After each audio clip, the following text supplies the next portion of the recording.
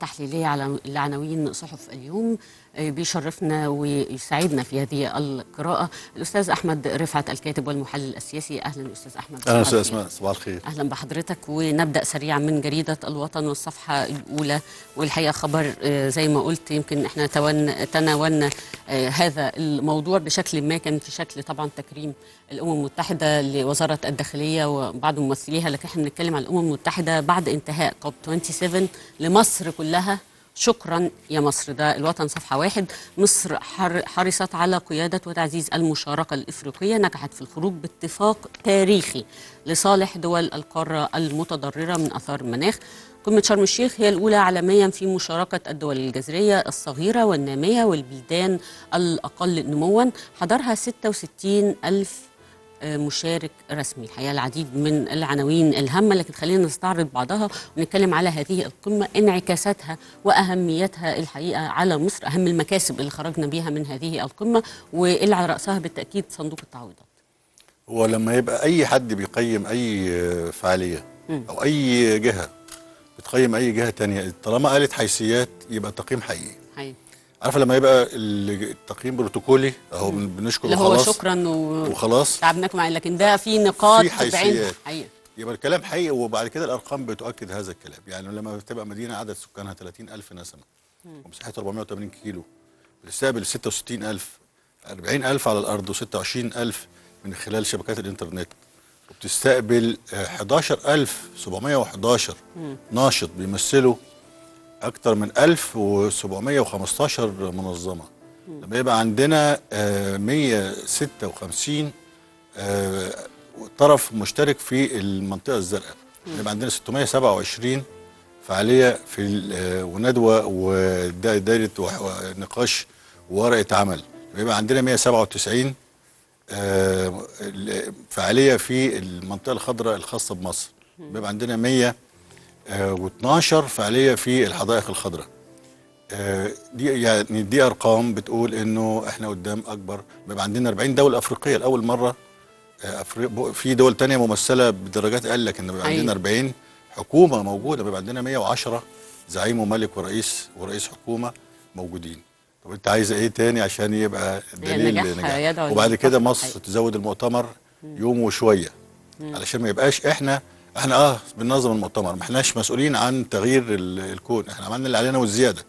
لكن ما ما رضناش ان المؤتمر يبقى على أرضنا ويخرج آه لا بشكل هو السيد الرئيس قال دي قمة التنفيذ فلازم الخروج بتوصيات أو بنتائج على أرض و- الواقع. وحصل. حقيقي. وتحقق. وبالتالي هذا الشكر وهذا التكريم من الامم المتحدة لمصر ورجالها سواء في رجال وزارة الداخلية أو في رجال الاشراف على المؤتمر ونظموه مصر كلها يعني آه مستحق. طيب آه، ما زلنا مع جريدة الوطن وبرضو الصفحة الأولى السيسي يوجه بمشاركة التضامن والجمعيات في جهود تطوير جزيرة الوراق وتلبية احتياجات الأهالي. توجيهات رئاسية بالتوسع في توطين صناعات الآلات والمعدات الثقيلة لصالح عملية التنمية. خلينا نتكلم سريعا في هذا الموضوع. الحقيقة هنتكلم في محورين المحور الأول بنتكلم على اهتمام الدولة بتلبية احتياج المواطن وتحقيق رضا المواطن. كمان إن إحنا لازم يبقى عندنا تحقيق رضا المواطن فإحنا بنسمعه ونلبي احتياجاته. ده رقم واحد. رقم اتنين أو المحور الثاني ملف التعويضات. الدولة اهتمت في اثناء تطوير العديد من المناطق منها طبعا مثلث ماسبيرو آه، منها آه، توسعة الطريق الدائري ودلوقتي بنتكلم على الوراق بالتعويضات. وخليني آخد برضو عنوان جانبي في نفس الصفحة. 94 برج سكني للراغبين في البقاء في الوراق وسكن بديل في المدن الجديدة. خمسة مليارات جنيه لتغيير وجه الجزيرة. رئيس تنمية الوراق المرحلة العاجلة من التطوير. تشمل كل الخدمات تضم مدارس ومراكز شباب. هو إيه؟ يعني أنا أحييك وأشكرك لأن قلت نقطة في منتهى الذكاء. أنا كنت جاي أقولها. يعني كنت جاي أقول إنه لحضرتك والله، بنتعلم من حضرتك. الله يخليك. العفو لأنه سيادة الرئيس ما هو ده برضه توجيه آه، ذكي من سيادة الرئيس. لأنه آه، لمح كده إنه هنا هذه المنطقة محتاجة حوار بين الدولة وبين المواطن. اللي حضرتك قلت عليه تلبية احتياجاته ونشوف عايز إيه ونتكلم معاه. الكلام مش اللي مش لازم الناس تقعد تدردش. بالظبط. لكن الكلام أحيانا بيبقى فيه أو الحوارات ممكن تبقى بتلبية مطالب الناس. انت قدام واحدة من 255 جزيرة في مصر تكاد تكون أكبرهم لأن دي 1600 فدان أو تحديدا 1516 حقيقي يعني دي قد شوفي شوفي الإنجاز اللي حصل في مثلث مز- مزبيرو مثلث مزبيرو كله ده 40 فدان. 4500 أسرة يعني قولي 20000 مواطن. دول في حدود 1000 أو 516 فدان على 90000 مواطن. فأنت محتاجة الكلام آه والاشتباك على الأرض مع خدمات الناس ومطالبهم بالظبط. وإن إحنا نوعيهم ونفهمهم إن البلد هنا هذه المنطقة اللي هي رايحة للأفضل. حقيقي. وإحنا عندنا تجارب يعني لو كان الناس في أنا آسف يعني في الزرايب الاسم القديم سمعوا كلام إعلام الشر ما كناش دلوقتي شايفين حدائق أكتوبر. طبعا. حدائق آه، مايو قصدي. لو الناس في آه، تل العقارب سمعوا كلام إعلام الشر ما كناش دلوقتي شايفين روضة السيدة. لو كانوا الناس في غيط العنب سمعوا كلام اعلام الشر ما كناش شايفين دلوقتي البشاير. حقيقي. وإحنا عندنا العينة بينة في مثلث مسبيرو ادي الابراج اتعملت وادي بالظبط. الاسر بتسكن وادي 950 اسرة اللي قالوا عايزين نرجع مكاننا هنرجع وهيعيشوا. وإحنا كنا مرة هنا اتكلمنا انه أجمل ما في الموضوع في مثلث مسبيرو إن عندنا ناس بسيطة من شعبنا هتبقى حقيقي، صح. الكادح الغلبان التعبان هيعيش على النيل دلوقتي. يعني ما كانش ده من الاحلام فإحنا الصدق في الموضوع حاصل وبالتالي الناس لازم تسمع الناس يبقى يبقى في حوار تلبية مطالب الناس نشرح ونوعي علشان ممكن هذه الجزيرة تتحول ل 1516 فدان ممكن يبقوا جنة على في الأرض. قلب النيل. حقيقي. وعندنا طبعا خير مثال المنطقة المحيطة بمتحف الحضارة. يعني يعني اللي يروح ويشوف الصور لا يتخيل إن هذه هي نفس المنطقة. ولا لسور مجرى العيون. طبعا حقيقي. يعني محدش في الأحلام. بالتأكيد. ننتقل إلى جريدة الأخبار وصفحة ثلاثة وزيادة أرصدة السلع الاستراتيجية لتكفي 8 شهور. بالتأكيد يمكن من المواضيع المهمة جدا طرح قمح المطاحن في البورصة بدءا من الأحد. انتهت وزارة التموين من تنفيذ خطة لتأمين الاحتياجات في البلاد من كافة السلع الأساسية لأكثر من خمس شهور وده تنفيذا لتوجيهات السيد الرئيس مما ساعد على عدم حدوث أي أزمات أو اختناقات أو نقص في السلع خلال فترة جائحة كورونا. آه، أو بداية الأزمة الروسية أو منذ بداية الأزمة الروسية وده اللي هننطلق منه إن دلوقتي بقينا بنتحرك وبنبقى في رؤية استر- استراتيجية سباقة. يعني دايما كان بيحصل المشكلة وبعد كده يبقى التحرك. إحنا عندنا الحمد لله آه، سواء كان جائحة كورونا الاقفال على المستوى أو الإقفال على مستوى العالم الأزمة الروسية الأوكرانية كان في تحرك مسبق إن إحنا عندنا في أزمات على مستوى العالم كبرى الاقتصاديات كلها يدخلوا السوبر ماركت ما فيش أي نوع من المنتجات إحنا ما عندناش ولا منتج كان ناقص وخصوصا مع ارتفاع كمان أسعار ال- القمح الجنونية إحنا كان عندنا الحمد لله فائض ومخزون استراتيجي يكفي. فهنا بنتكلم على زيادة الأرصدة السلع الغذائية تكفي ثمانية أشهر. أنا أحييك جدا للمرة الثانية لأن هنا برضو في الخبر مش م- مفهوش التعليق اللي حضرتك قلتيه الخاص بالرؤيه الاستباقية. لأن إحنا قبل كورونا إيه اللي خلانا يعني إيه ما كانش في حد في. الكورونا في الحسبان خالص. خالص. بس قبلها عملنا موضوع الصوامع المشروع القومي للصوامع. اللي هيزاي اللي هيخلينا نخزن 3.6 من 10 مليون طن قمح. يبقوا مركونين كده وفي أمان وبشكل علمي وبشكل متحضر وبعيد عن القوارض وبعيد عن التراب وبعيد عن الهواء وبعيد عن الطيور ونقدر مخزنين أكل الناس ومأمنينه. طبعا 50 منهم إحنا عندنا 70 صومعة 50 منهم جديدة في المشروع القومي للصوامع اللي بدا اللي بداوا سيادة الرئيس قبل موضوع كورونا بكتير. بالظبط. والحمد لله. لكن خلينا بس في التفاصيل. لأن في ناس عندها بس التباس في موضوع الم- المخزون. يقول لك إيه إحنا عندنا مخزون السلع لست شهور لقدام عدى منهم شهرين. لا هي مش كده هو دايما يبقى عندنا مخزون ثابت ست شهور. يعني. إذا استهلكنا شهر بنضيف شهر تاني. بنجيب. فطبعا إحنا عندنا آه، بحيث يبقى ثابت على طول عندنا هذا المخزون لمدة ست شهور ما يتأثرش مهما حصل. لكن إحنا عندنا استهلاك آه، ربنا يزيد ويبارك استهلاك يعتبر بالمقارنه بدول شعوب تانية كبير. يعني عندنا 2 مليون طن. زيوت. عندنا 500 ألف طن آه، فول. عندنا 280 ألف طن آه، عدس. عندنا 3.3 من 10 مليون طن سكر. عندنا 3.2 من 10 مليون آه، طن رز.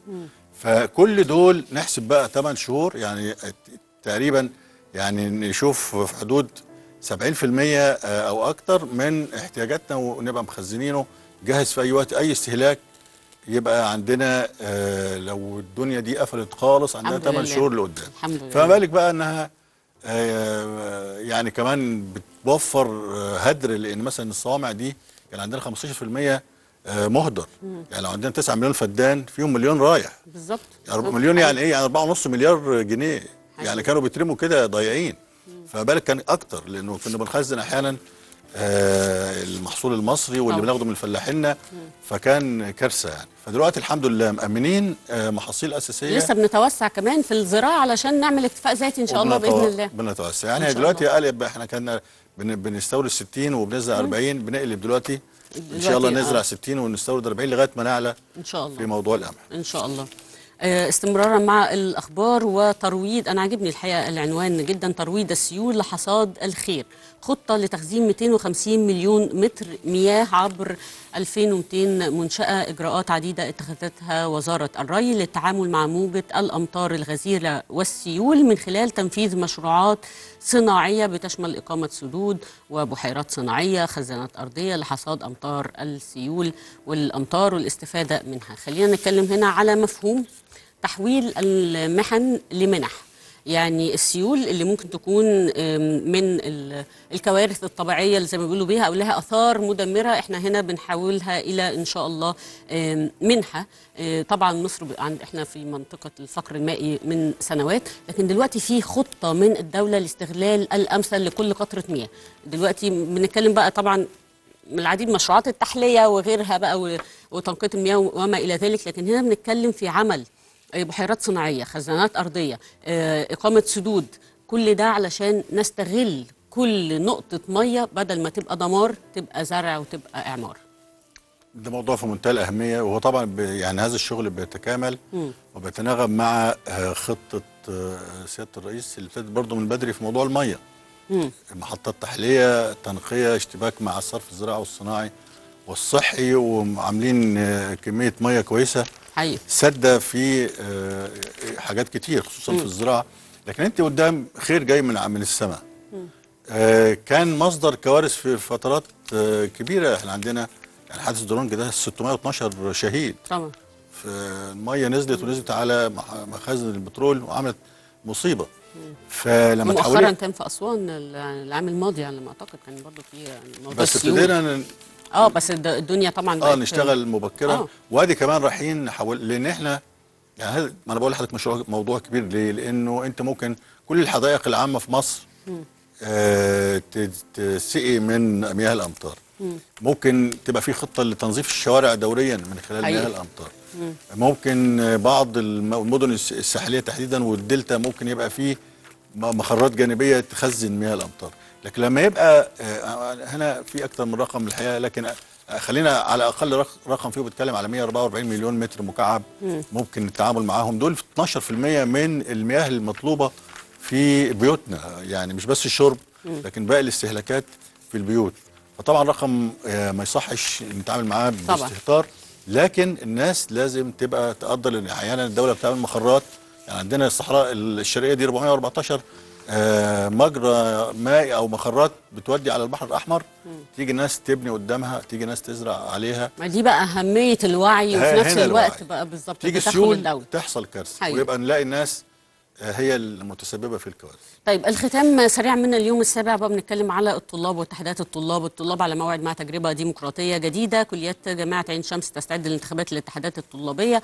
الكليات تبدأ تشكيل اللجان المشرفة تعلق الجدول الزمني. عميد الزراعة بيقول صناديق ز- زجاجية شفافة لعمليات التصويت لجان الإشراف مشاركة الطلاب. خلينا نتكلم طبعا على الاتحادات الطلابية بتعتبر الحاضنة اللي بيخرج منها العديد من السياسيين على مستوى العالم مش في مصر بالتأكيد. الفترة زي ما بنقول كده فترة تدريب لأي حد عنده ميول سياسية عشان يفهم يعني إيه العمل السياسي. بالظبط. يفهم يعني إيه عمل سياسي يفهم يعني إيه مفهوم الديمقراطية ومفهوم الحرية الحقيقي مش الخاطئ. فخلينا نتكلم على هذه التجربة وأهمية إن الشباب يعي المشاركة أو أهمية المشاركة في هذه التجارب الانتخابية أو الاتحادات زي ما. حضرتك قلت بنجهز ناس للمستقبل يتحملوا المسؤولية فيما بعد. هم دول اللي هيشيلوا الوطن في السنين اللي جاية. لكن إحنا قدام جمهورية إحنا قدام دولة مستقلة الجامعات مصر. طبعا.